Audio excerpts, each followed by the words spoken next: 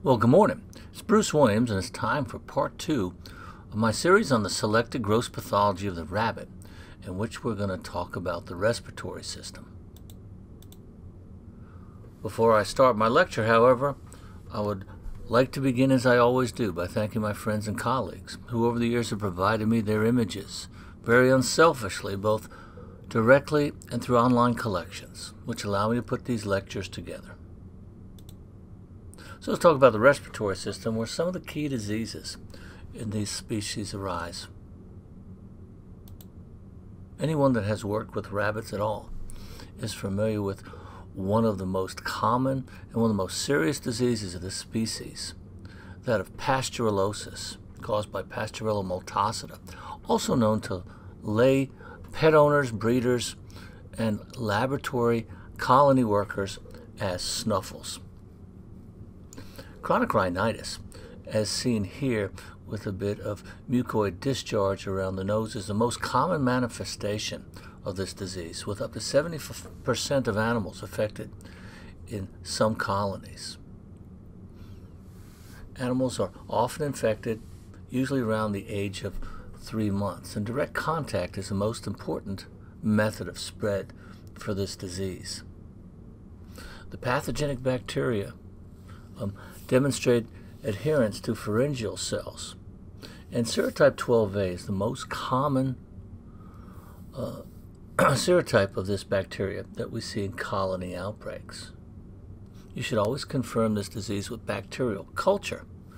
But deep nasal culture, just going in through the nose, is a very unreliable method. We'll talk ab about other places to look very shortly.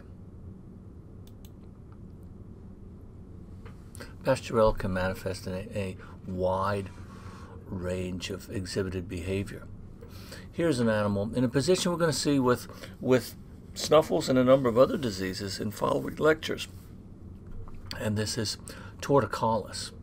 A lot of people think that this is a middle ear infection, but actually it indicates the infection of the inner ear. And this is only seen in about 5% of cases of snuffles, while otitis media is seen in a third or more cases. Another manifestation of Pasteurella multocida may be seen on, in meat and fur farms and is known as the sleepy bunny syndrome. This bunny looks a little tired. Okay, this suggests septicemia rather than abscess formation or rhinitis and is likely due to the effect of endotoxin. Remember, Pasteurella is a, a gram-negative bacteria. So if we can successfully destroy the bacteria, we still have to deal with the exotoxin, which is a primary component of its cell walls. And the, the sleepiness is probably the effects of endotoxin on the central nervous system of septicemic animals. You may see no gross lesions at necropsy in these animals, but because of the endotoxin, Look for hemorrhages on the organs, fibrin thrombi, and cellular degeneration and necrosis in the liver and adrenal gland. Very classic signs of sepsis, which we'll see with Pasteurella multocida in a number of animal species, including avian species. Okay, so the major major lesion that most people are familiar with is a catarrhal to ultimately a mucopurulent rhinitis. Um, environmental conditions often are, are, major contributors to infection. So if the animals are cold or there's a high ammonia because they're not being, uh, the cages are not being cleaned out on a frequent basis or, or poor sanitation or they're overcrowded, this will all contribute to the spread and the severity of cases of snuffle in an outbreak. The animals will often have a epiphora due to the rhinitis and the plugging of the nasal lacrimal duct. you can occasionally culture the organism from the conjunctiva as well. Multocida is a bad actor in rabbits, and as we look at the uh, the various laboratory species, each of these species has some bacteria that really cause significant problems, and they all act in a very similar way as as we've seen. In mice and rats, we talked about Mycoplasma pulmonis causing pneumonia, causing uh, otitis media, and reproductive infections. In rabbits, it's Pasteurella multocida. In guinea pigs, it's going to be Bordetella bronchoseptica. And they all act fairly the same way. So I like to sort of lump them together and just remember which bacteria goes with which species.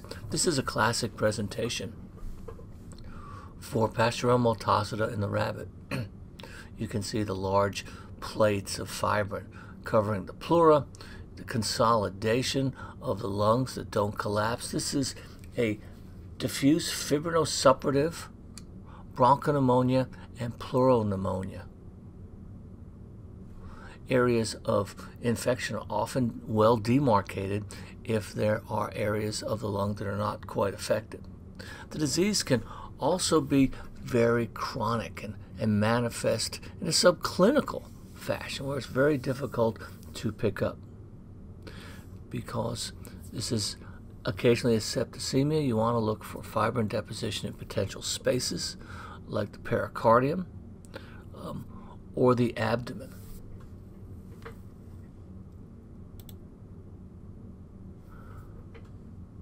Lung lesions can be extremely variable. You can see a diffuse fibrinosuppurative bronchopneumonia. This is a large pulmonary abscess which is ruptured. The lung has actually become just a big bag of pus. It's not as common in the lung as it is in the skin and the draining lymph nodes. The pus is, is often very tenacious, and when it gets into the lymph nodes, they can be very difficult to drain. Here's a great example of Pasteurella in a uh, large abscess lymph nodes. You can see there's probably been some leakage. There is a lot of adhesions. And abscesses can appear in any organ, whether it's the liver, whether it's the brain. You can see that in association with Pasteurella. The jaw is a place where you see a lot of them um, because the agent is chronically in the it's often present in the upper respiratory tract. Sometimes it acts a bit like strangles in horses. This would be called bastard strangles here, but it will get deep into the uh, the the mandibular lymph nodes and cause these very tenacious uh, abscesses. Can also get into the jaws. I'll show you a picture in just a minute. And they can be just absolutely the devil to try and treat. Bordetella does like to hang out in areas with cilia, and you will commonly see it as part of uh, uh, a infection of the middle ear. Very difficult to show the middle ear. There's only a couple of ways. This is one. Another way is to uh, to sort of uh, take off the jaw. So whenever I see something like this, which shows me uh, the the foramen magnum, I'm always looking at the uh, at the middle ears. And, and this person has done a pretty good job of cracking open those tympanic bulla, and you can see the exudate. It's a little mucoid on one side, it's mucopurulent on the other. And uh, so this would be a case of otitis media. And I said um, that deep nasal culture is usually not a good way to get this bacteria. This is one of the best.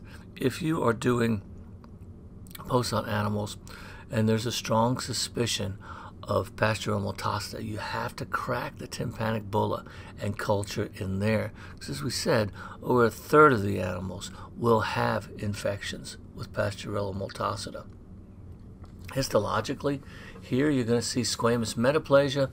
You'll see lots of inflammation and accumulated pus. And these may ascend into the middle ear and even get into the brain from, from the inner ear. They also, these, these abscesses within the brain might also come from rhinitis or conjunctivitis as well, but the inner ear is probably the most likely route of infection for cerebral abscesses in the temporal area of the brain. We're looking at the uh, reproductive tract of a doe and Pasteurella multocida can arrive there as part of a septicemic infection, or it may be transmitted venereally from the buck. Um, it does take a while to uh, uh, to manifest. The, they will develop a transmural and necrotizing uh, pyometra, and they the does will often die within a few hours of showing the disease the bucks that are infected may get a suppurative orchitis.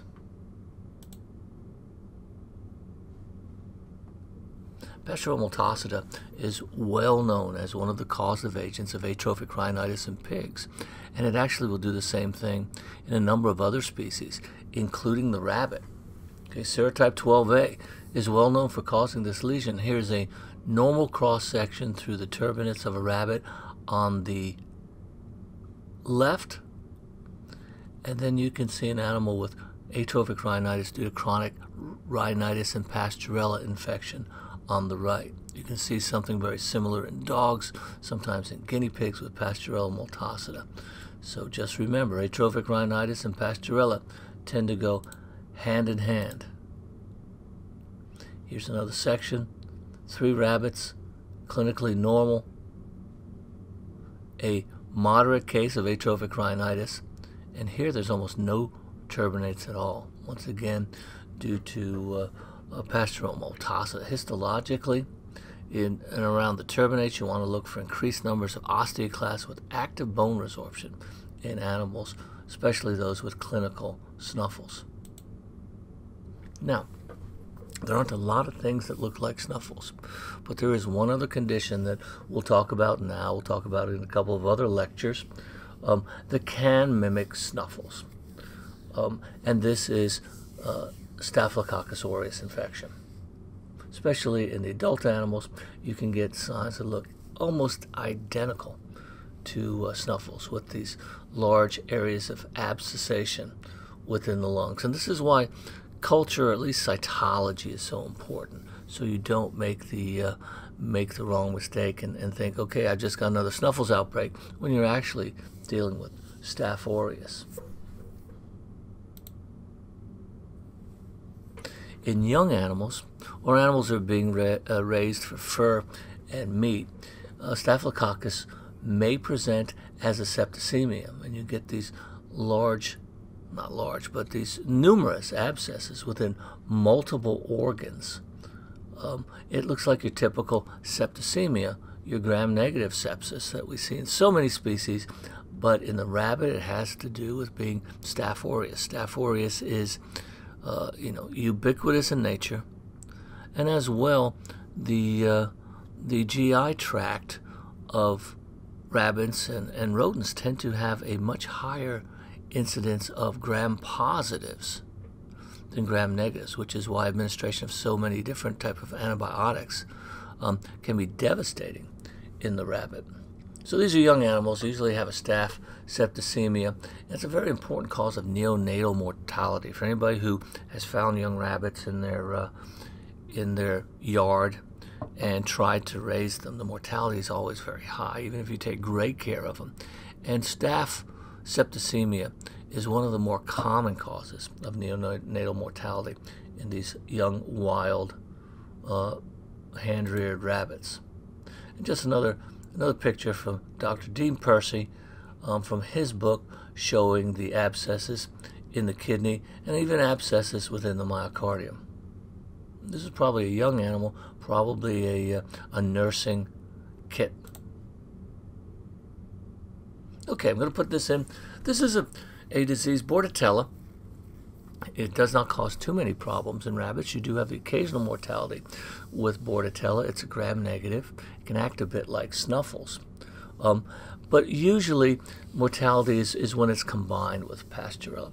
The big problem is that rabbits carry Bordetella um, very happily, like many animal species, and they can transmit it to other laboratory animals, especially guinea pigs, who are incredibly susceptible to it.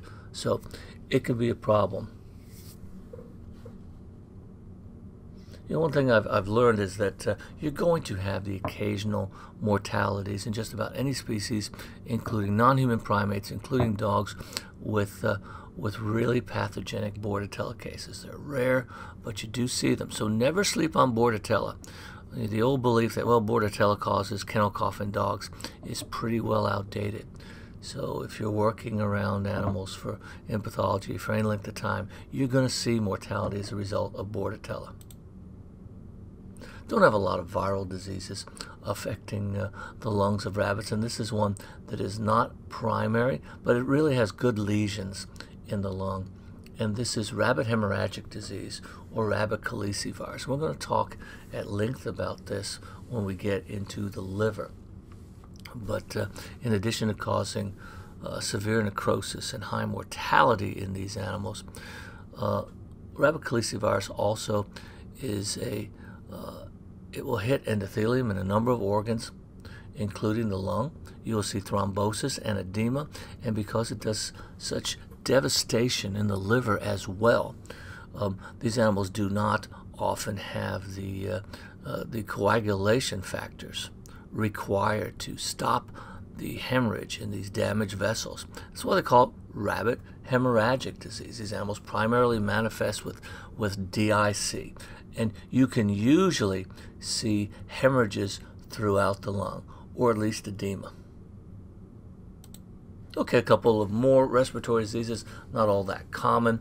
Um, some large multifocal granulomas uh, within the lung of a rabbit. And rabbits are excellent uh, experimental models for pulmonary tuberculosis. I would suspect that this one might have been uh, uh, aerosolized with the condition to get such focal, uh, well-defined lesions. Uh, Mycobacterium avium, paratuberculosis, which causes paratuberculosis in Scotland, we call it Johne's disease, um, is the the wild rabbits, Oryctolagus cuniculi. The European rabbits are considered to be a, uh, a reservoir species for that. Um, Mycobacterium avium is a, a species-specific opportunistic pathogen. They're probably transplacental um, infections. And you may see uh, organisms in the lung of animals at the time of weaning with, with no associated pathology. The disease is most often seen um, Mycobacterium avium in young rabbits. And it may be pulmonary, it may also be enteric, uh, enteric as we see in so many other species with Mycobacterium avium. And it's very common in wild pygmy rabbits.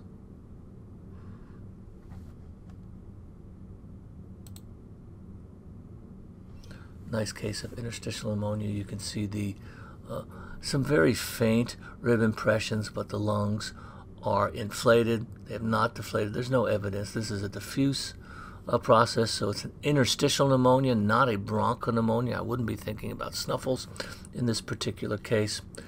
And like so many other species, uh, rabbits have pneumocystis, which will manifest when the animals are severely immunosuppressed or may have some form of concurrent disease. And uh, because these have been broken out, uh, used to be all pneumocystis carinii, which made them easy to remember. Uh, now it's pneumocystis oryctolagi in the rabbit. And this manifests when, uh, because our cell mediated immunities take care of this parasite and keep it into this fungus and keep it in very low numbers.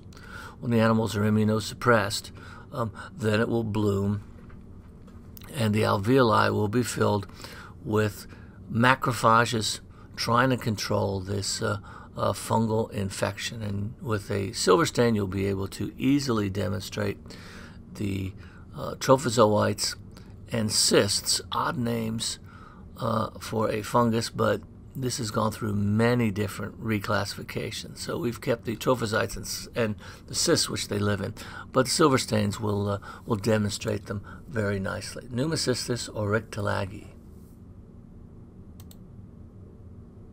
Okay, one last uh, uh, one last condition, um, and this is a little bit more of a rule out. We have these large white uh, lesions throughout all sections of the lung.